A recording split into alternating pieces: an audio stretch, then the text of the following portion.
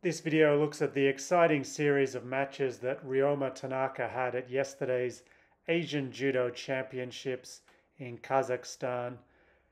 So he finished off his first match with a nice big ippon. The second match was a little bit harder for him. He was able to get on the board with a waza ari, but things got a little bit weird when he tried to finish things off later in the match. So there's the waza ari. And in the final part of the match, as he went in for the big Awasete Ippon finish, his opponent did remarkable feat of defense, almost got caught in an armbar. And after escaping the Juji Gatame, he ended up in half guard just as the bell rang and then moved to Osaekomi. And then the ref called for the Osaekomi count to start just as he'd given up, as he'd clearly arrived in that position a little late.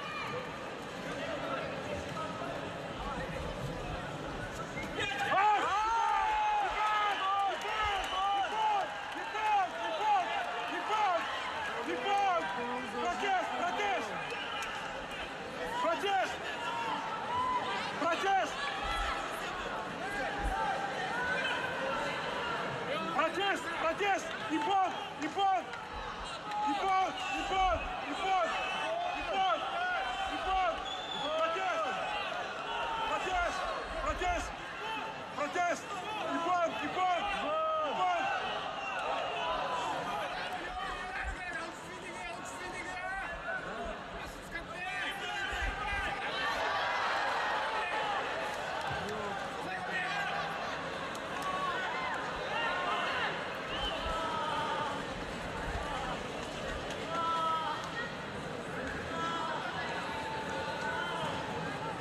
Хасоки! Хасоки! Хасоки!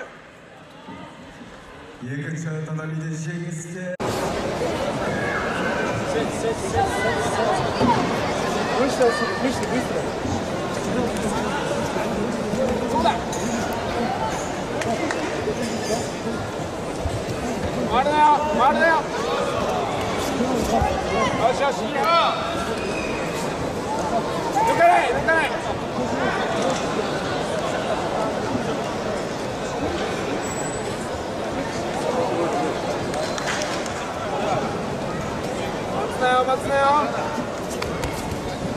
よしよし。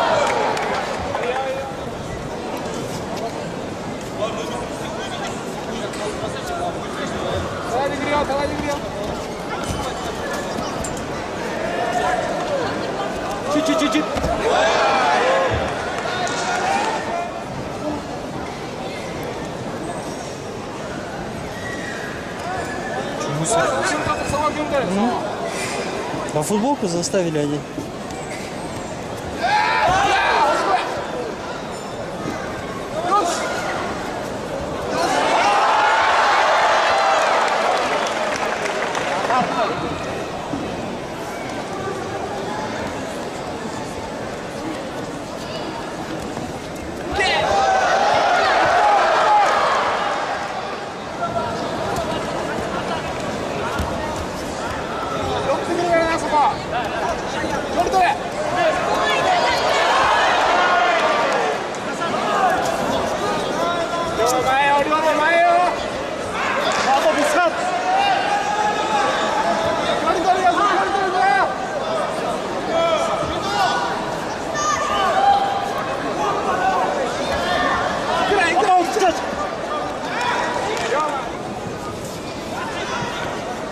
組み手を組み手しっかり。